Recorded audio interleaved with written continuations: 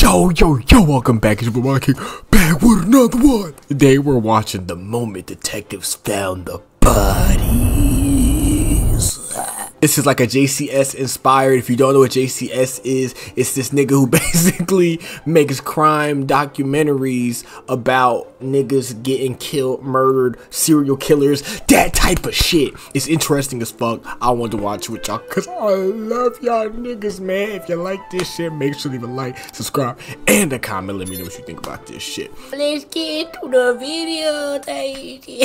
On Saturday, August 28th, 2021, the Greenville County Sheriff's Office in South Carolina received an alarming 911 call. Greenville County 911, what's the location of your emergency? Okay, uh, the thing is, a sitter was supposed to show up to be with my mom today, and she's in her 80s. Her name is Edna. Damn! What the fuck?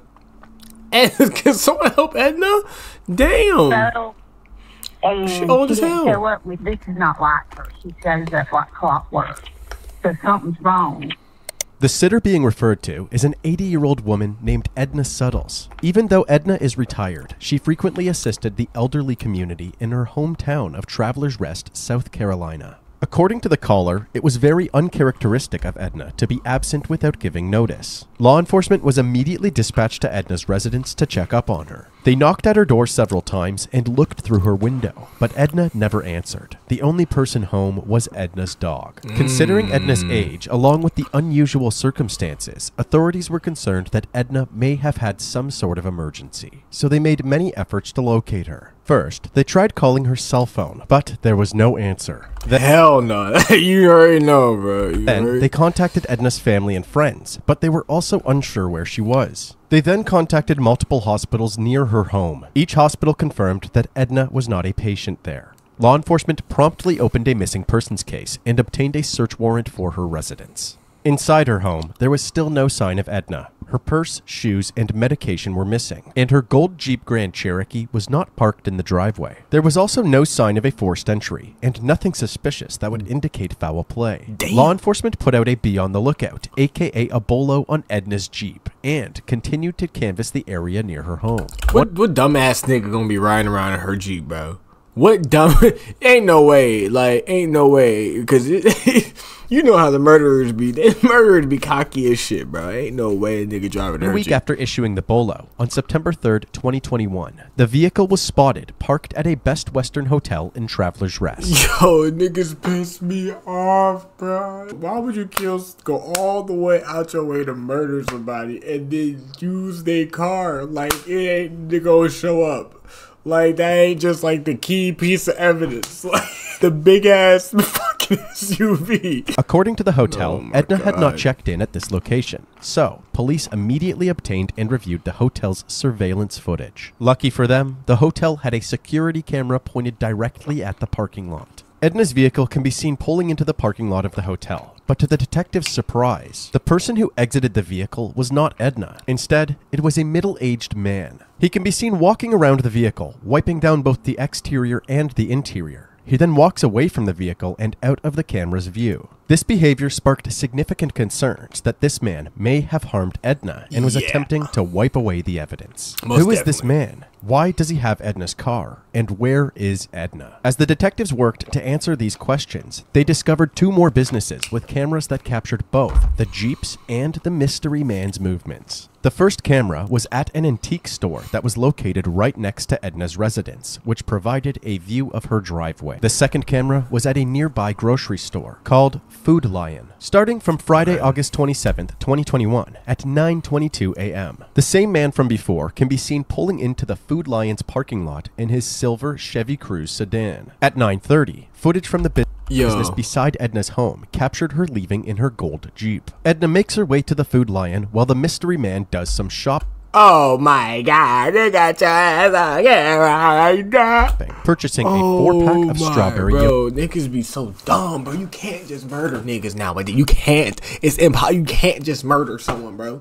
You know how many cameras on every corner, bro? They got a camera everywhere, nigga. ATM's got a camera, nigga. The Kroger got a camera, nigga. Target got a camera, nigga. The doll got a camera. Like everyone got a camera, gang. You can't just walk around here thinking you just gonna be fucking killing niggas. Oopity boopity. and then just getting in your whip and driving home and going to the fucking local Kroger. going to the local fucking Walmart. By the time he exits the Food Lion at 9:39 a.m., Edna has arrived and is parked close to the entrance of the store. He gestures to her on his way back to his car, as if they know each other. After picking up a small bag from his vehicle, he heads back to Edna's Jeep and the two drive off together. It Uh, this nigga knows Edna. He's probably a nigga who helped her out and shit. seems like this man was no stranger and that their meetup at the Food Lion was likely pre-planned. So he came in his car. He came in his car, left in her car. So why did he do that? Or that gotta mean they dating or some shit. They dating or something. Cause nobody. Cause why would you leave your car, but the, bitch take you somewhere, nigga? You Finna go get some Dapper Rapper. The two then drive back to Edna's residence. Shortly after returning to her house, she placed a call to one of her daughters at around 10:13 a.m. That particular phone call was the last time that Edna's family would hear from her. Three and a half hours later, at around 1:43 p.m., the Jeep is once again captured leaving her driveway and heading in the direction of the Food Lion. To get At his car. 2:02 p.m., the Jeep can be seen pulling into the Food Lion again, but this time it finds its way to the back of the parking lot, far from any other traffic or surveillance cameras. The unidentified man then steps out of the driver's seat and returns to his Chevy Cruze. Yo, niggas is wild, bro. This nigga said back to back to reality. which is still near the entrance of the grocery store. Oh he promptly parks his sedan next to the Jeep. Despite the poor visibility of this footage, police believed that they were watching the man transfer Edna's body from the Jeep into the passenger seat of his sedan. At the Yo, in public, nigga, like, bro. Oh my god, yo, niggas, it's crazy, bro. You could have walked past a nigga killing someone a million times. You would have never known, bro. At the very least, Edna seemed unconscious, as there was no movement coming from the passenger seat. He then hops back into the Jeep and drives away, arriving at the Best Western parking lot a few minutes later. As seen before, he wipes down the vehicle and then casually walks back to his sedan parked at the Food Lion. He then exits the parking lot toward the North 25 highway, along with what was presumed to be Edna's unconscious body. The collection of video evidence ends there, but thanks to the high quality footage inside the food Yeah, lot, you're caught, police were able to create a comprehensive profile of the mystery man. Yeah, we got you, buddy. Right? Like I took, I just paused it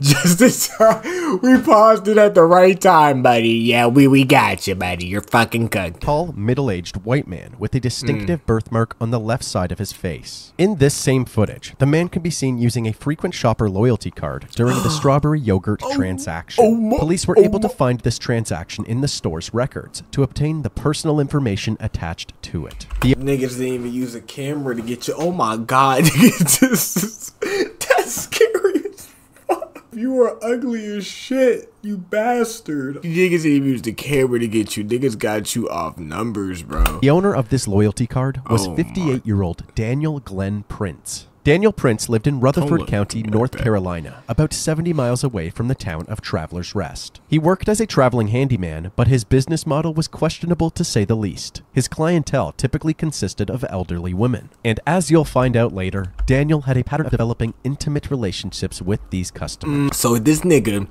used his job as a way to get into with the old bitch. Then he niced her up. To give me, go me, take me to the store, take me back. Killed the wow. Into Daniel Prince's records revealed that his criminal history was quite extensive. He had spent 13 That's neat. years in prison for a kidnapping conviction in the state of Michigan. What? You don't spend 13 years in prison for a small kidnapping. He kidnapped somebody. What? Then he got out. He was released in 2009 and his parole was terminated two years later in 2011. Not only that, but he also had a handful of other convictions, including firearm possession by a convicted felon and battery. Despite Daniel's worrisome past and the comprehensive Oh, surveillance footage, authorities were still unable to obtain an arrest warrant for kidnapping or homicide charges. However, after interviewing Edna's inner circle, it was made clear that Daniel would not have had the permission to drive Edna's Jeep. So, detectives were able to obtain an arrest warrant based on Grand Theft Auto. The Jeep was located in the parking lot of the Best Western Hotel, which was in Greenville County, South Carolina. Daniel's residence was located about an hour away in Rutherford County, North Carolina. So, Greenville investigators collaborated with the Rutherford County Sheriff's Office. Damn, them niggas worked in the lines to get your ass, nigga. You're cooked, the remainder cooked. of this Not investigation. The body You're cam good, footage you are about to see is from September 9th, 2021, as officers arrive at Daniel's property to make the arrest. They got SWAT on your ass. Totally cooperating. Just relax. It's not doing anything. It's not cooperating. Yo, shut the fuck up, buddy. Listen, we good. Stand up on your feet. Yeah. Walking him back. That's my wife. She's not gonna do anything. Yes, sir. Do you mind if I take your hat off for just a second, please? See what you need. Sir, I will be very cooperative. That's crazy. He old as hell. He don't look like how he did when he was kidnapping niggas 15 years ago. Start down, please. What the fuck? Yeah, thank you. This nigga looks scary as This shit. is like a Hollywood TV big time takedown or something. Is that what you Following think? his arrest, Daniel was brought to the station for questioning. It became apparent very quickly that Daniel was withholding information. Yeah, buddy. What niggas talking about? Some this is a takedown. What do you mean takedown? That's some shit you say when you're the villain. What are you fucking talking about? So you already met my partner, John. Once again, I'm Greg, Greg. Walter. Okay. Uh, both of us are investigators down in uh, Greenville County. South Carolina. Yes, sir. Okay, I've never been to Greenville, South Carolina in my life. Okay, fantastic. he, he doesn't give a fuck. Okay, fantastic. I've never been to Greenville, South Carolina in my life. Oh, oh, okay, fantastic. All I'm right. right here, sir. okay, I'll talk to fantastic. you about August 27th, 2021 this year. Where do you think you were at? I've been going all over the place. I've been back and forth to Charlotte. I've been down to South Like, Carolina. where- where's your jobs in South Carolina taking you? Um, actually, I was down to Traveler's Rest, but I don't know if it was Friday or Thursday. I know I'd been there earlier that week. Okay. Um, actually, Is is travel? Yo, this nigga. Who the fuck does he think this nigga? Who does this nigga think he playing with, bro? Who does this nigga think he playing with, bro?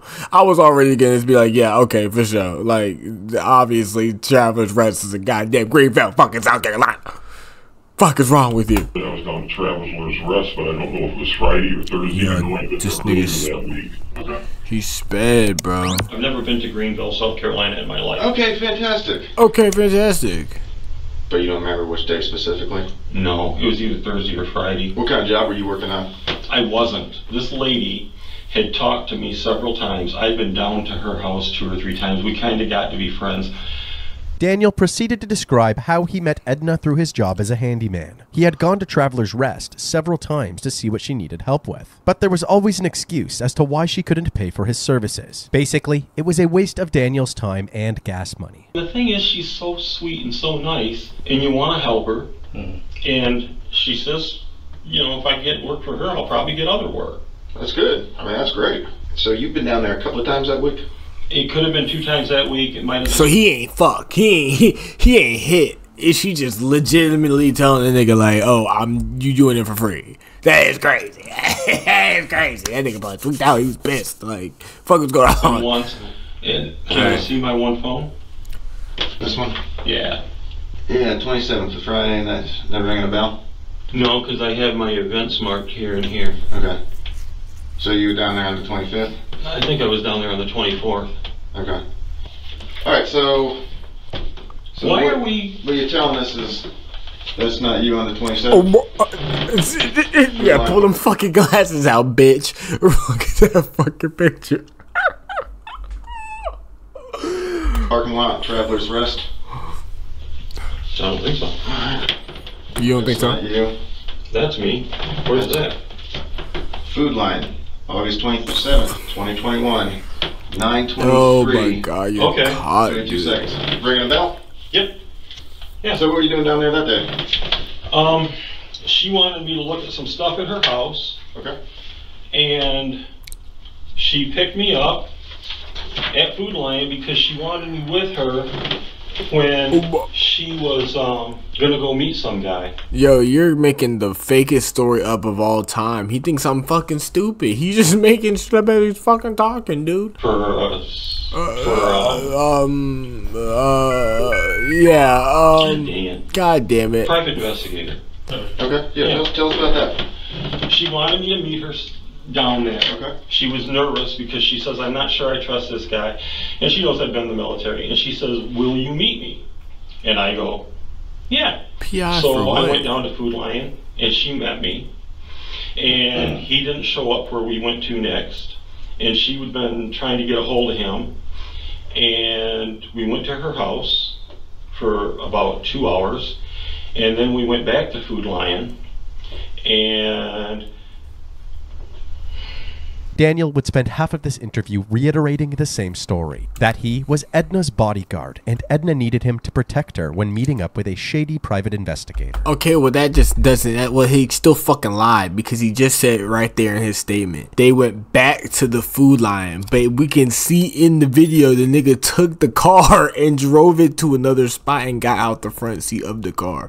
So you're the only nigga who came back to the food line alive, or you the only nigga who came back in general, my nigga. Make me a cop, man. I really kidding. I put these niggas in the cell, my nigga. The details of his story contradicted the surveillance footage, so they challenged his lies with more printed screenshots of the video evidence. what were you driving? I was driving. Ooh, I'm really saying this shit before it happens. Like I'm really on some genius level shit. I just want to remember, I'm I should be a lawyer, bro. Your wife's car or your car? My wife's car. You, you got a work truck? No. Okay. You don't got a So work that's truck? all, uh, coming down 25, you and her together? It could be. Okay. Yeah, here's a different angle, but I mean, you know, we've watched this car, right? Okay. Here's y'all in the, uh, hotel parking lot. It got everything, bro. Oh, bro. look. You get out. Nobody else gets out. How that work? told You You're walking No, around the you didn't, bro. Yeah. You wiped the entire car down. because I was worried. You were worried. About what?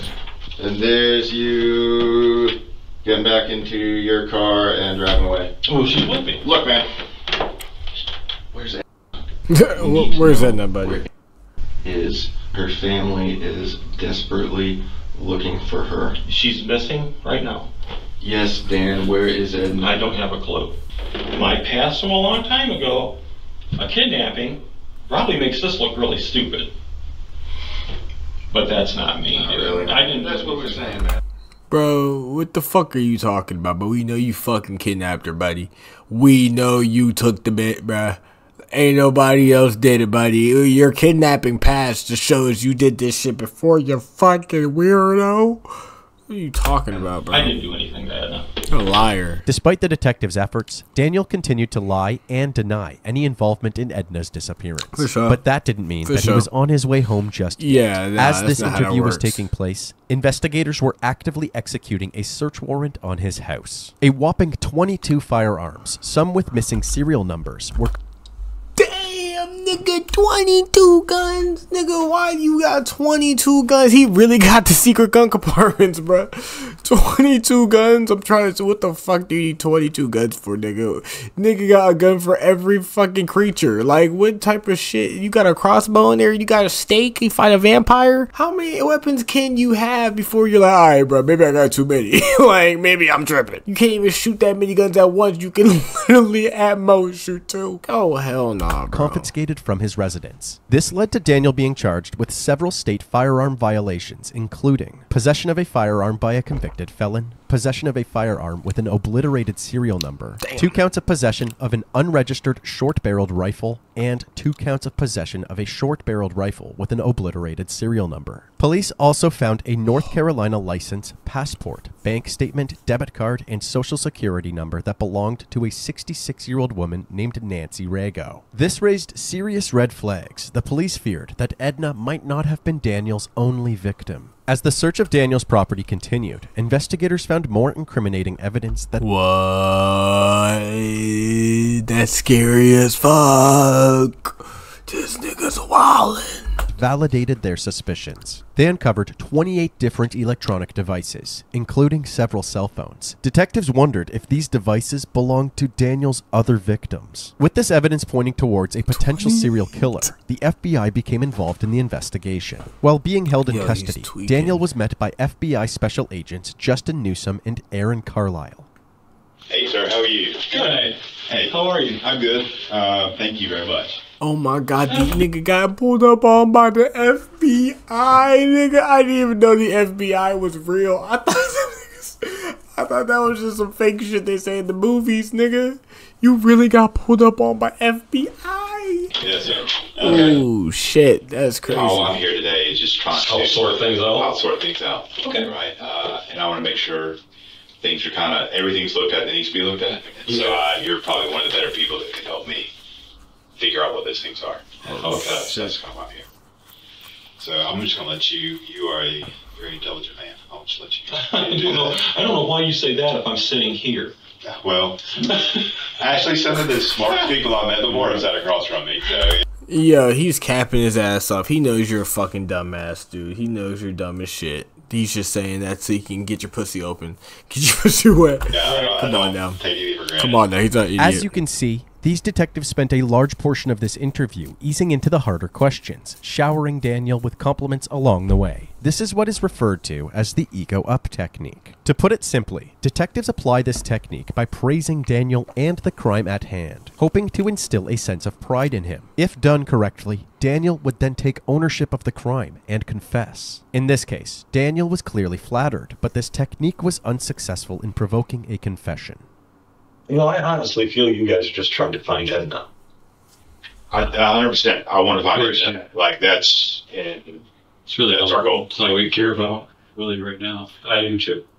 All right, let me ask you this: If you were doing my job, and I ask this all the time to people, Okay. if you were doing my job, what would you do to find it? Like, you know her better than we will ever know. What would you do to find it? Is I honestly couldn't answer that for you doing your job any more than you can doing your job because I don't have. Just like the last interview, Daniel continued to deny any involvement in Edna's disappearance. They then asked Daniel about Nancy Rago. They learned that Daniel first met Nancy in 2015 through a classified ad that he posted online. Despite Daniel being a married man, he developed a romantic relationship with Nancy while she was living with her mother, Dolores Sellers. Oh, these people are ugly as fuck. Why is that nigga's face so scary, bro? Dolores suddenly passed away in November of 20. Oh, rest in peace, bro. My fuck. oh, wow. But detectives felt that something was off, especially after learning that Nancy had disappeared around the same time. Nancy was never reported missing because the family would periodically receive emails or texts from someone claiming to be her. But that person always declined to meet up or speak with anyone any further. According to Daniel, he was listed as having power of attorney over Nancy's bank account, which continued to receive Social Security deposits and had transactions almost every day since she went missing. No, Authorities theorized that Daniel fuck. had kidnapped Nancy, gained access to her finances, and was actively using her debit card. But at this point, that's all this was a theory. So they wrapped up Daniel's second interview and continued with their investigation. What? Over the next few days, the electronic devices found at Daniel's home were analyzed. And law enforcement determined that some of these devices belonged to Nancy, Dolores, and Edna. They also found Yo, this nigga is wild, bro. found a phone that belonged to a Florida woman named Lee Goodman. Investigators learned that Lee and Daniel had met in September of 2018. Using information from Lee's cell phone, investigators determined that Lee had disappeared within days of meeting Daniel. However, Why is this nigga killing all these old people? What the fuck did the old bitches do? What did the old pussy do to you? It's old cat. What?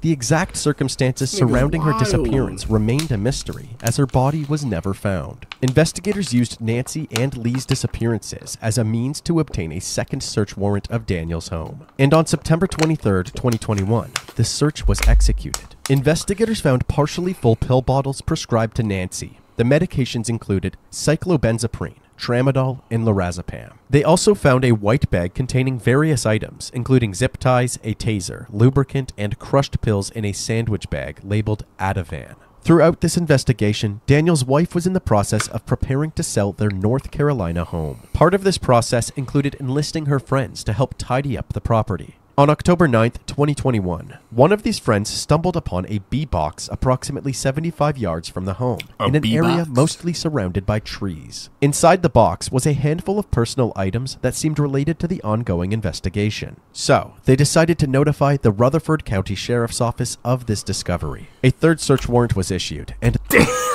this nigga got three search warrants on his crib. God damn it. Y'all haven't found the, eh, what y'all need yet? How many times you search nigga crib? The bee box was inspected by a I of this discovery. A third search warrant was issued, and the bee box was inspected by authorities. Inside the box was a woman's purse, rope, more zip ties, medication, an empty yogurt container, Nigga got hungry, yo. Nigga got hungry mid murder. My fault. and keys for a Jeep Grand Cherokee. Beside the box, they found more items, including a shovel, a pickaxe, and straps. What the fuck is this nigga got a pickaxe for? This nigga's mining coal. Approximately 30 feet away from the box, authorities found an interior vehicle panel along with a black trash bag and Oh, a tarp. God. Inside that black trash bag was various items that belonged to Edna, including a bracelet, earrings, and a pair of shoes. All of these items were sent in for forensic testing. The residue on the walls of the yogurt container came back positive for cyclobenzaprine, tramadol, and lorazepam, the same medications prescribed to Nancy. These substances are known to induce drowsiness, dizziness, and relaxation. They also tested the white plastic bag, which had Edna's DNA on it. They believed that Daniel used this mixture of prescription medication in the yogurt to drug Edna before suffocating her with the plastic bag. The next day, on October 10th, 2021, Yo. a police canine trained to detect the odor of human decomposition searched Daniel's property but did not locate any remains. However, the canine detected a strong scent at the location where the vehicle panel, trash bag, and tarp were recovered. On October 13th, 2021, the FBI confronted Daniel yet again, this time armed with a mountain of evidence. To their surprise, Daniel was now ready to cooperate. According to court documents, before the interview began, Daniel said that he wanted to fully disclose his sins and stated that he knew he would likely spend the rest of his life in prison. Yeah, buddy. What the fuck is wrong with you? What was the point? What did you gain from this, bro? There are things that have to happen, and there are things that are going to happen. And I'm a realist, and I have acceptance with this. I would like a little bit of control in how they happen. Absolutely fucking not. You don't deserve that fucking right. You can give nobody else that right. how they happen.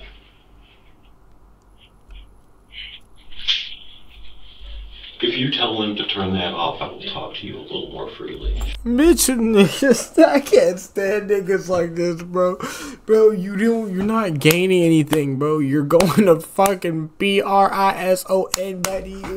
Fuck what you think. This camera, I'm just gonna write down what you say out your mouth on this paper, you fucking nimwit. Finally, the major breakthrough that the detectives had been waiting for. Daniel was now ready to provide detailed information about all four women. He said he would only come clean if the camera was turned off and he had an attorney present during the interview. The detectives complied with his demands, Okay. but were still able to record with an audio device. Like, what do you think this is, bro? You think them niggas ain't recording? Like, what do you, niggas a dumbass, bro. very frank conversation with you. If you are comfortable talking to I'm incredibly comfortable talking to you, Okay. and I feel like I can talk to you one guy to another. I would prefer not to have the death penalty on the table. I think that that would be warranted for this degree of contrition and help. And I'm willing to help you with this stuff because I really, truly, it's eating away at me, man. I want it off my conscience. Before Daniel would reveal the details of his crimes, he requested a plea deal that would spare him from the death penalty and being federally prosecuted for Nancy, Dolores, and Lee's disappearances. I don't think that's how that works. I don't think you can get a plea deal on that. After authorities agreed to this plea deal, Daniel proceeded to admit to the murders of all four women. What is the number that I need to go back and just say there's, there's Number of human beings? Okay, one, two, three, four. I know this sounds like there's a lot of bodies here. When describing his role in Dolores and Nancy's deaths, he said that he hypothetically assisted a close friend with the euthanasia of a family member. He then looked up at the detectives and said, That is one body. The close friend, Nancy, then had feelings of remorse and was apparently going to tell law enforcement. Daniel then said Nancy was the second body. Daniel did not report the death, but instead disposed of the body so he could keep collecting her social security benefits. Oh, Unexpectedly, hell Daniel nah, also bro. described another incident in which someone tried to rob him, but the robbery did not work out well for the robber. He stated that after the attempted robbery, he drove to a rural area, disposed of the body, and cleaned up from the incident. While Daniel was clearly keeping things as vague as possible, he did disclose some more specific details about the four women's deaths. Dolores Sellers was killed in November of 2017 by a lethal dose of prescription drugs. It is unclear how this was missed in the initial autopsy. Nancy Rago disappeared in November of 2017, but was killed in January of 2018 by a gunshot. Nancy's whereabouts during those two months are uncertain. Lee Goodman was killed this within the days of meeting insane. Daniel in September of 2018. Her cause of death is unknown. Finally, Edna Suttles was sedated by Daniel with prescription medications and kidnapped from her South Carolina home. He then drove her to his North Carolina home, where he killed her and buried her body in a remote wooded area near his property. The detectives then asked Daniel if he could guide them to the burial site. No. Help me get that closure for Edna's family. Well, do you at least know a good location? I could give you within three feet. Eight months following this interview, on May 16th, 2022, No Edna's body was recovered after Daniel was escorted to his property and was able to direct the officers to the exact burial spot. Edna's lifeless body was found lying on her side, still fully clothed, and with her jewelry intact. Despite being buried for eight months, her body was still in decent condition, and authorities were able to perform a full autopsy. The autopsy Oh, confirmed that? Edna had been drugged by Nancy's prescription medication mixed in the strawberry yogurt. The cause of death was strangulation. On June 21st, 2022, Daniel Prince pled guilty to kidnapping resulting Yeah, in death bro. in regard to the disappearance and death of Edna You gotta Suttles. fucking go, buddy. We certainly want to thank y'all for joining us today as we announce an arrest and subsequent plea deal has been reached in connection with the disappearance and death of Edna Suttles. She went missing from Greenville County on August the 27th of 2021. This investigation uncovered the man responsible, a man who has now been identified as a serial killer residing in Bostic, North Carolina. Wow. 59 year old Daniel Glenn Prince. 59. That nigga gonna be in prison for the rest of his fucking life. if he's even still alive. Due to Daniel's request for a plea deal, he successfully avoided the death penalty. He was sentenced to life in prison without the possibility of parole. Daniel Prince will spend the rest of his life in the USP Hazelton Federal Correctional Complex in Preston County, West Virginia, or as its inmates call it, Misery Mountain. Misery Mountain. that nigga got He was a sick-minded individual, dangerous individual. Uh, he preyed on the elderly and he preyed on females. Now Prince will face the bitch. remainder of his life behind bars. What a is being held accountable and cannot commit future acts of violence against innocent women in our community. What a dickhead, bro. Nigga was killing women, bro. Old ass women, bro. What a dickhead. What a jackass. I'm glad he got fucking sentenced to what he fucking got. Hey, if you enjoyed this fucking video, please make sure to leave a like, subscribe, and a comment telling me what you thought about this fucking murder documentary. Yo, fuck that dude. I don't even know his name was. Daniel? Fuck Daniel. Fuck any nigga named Daniel.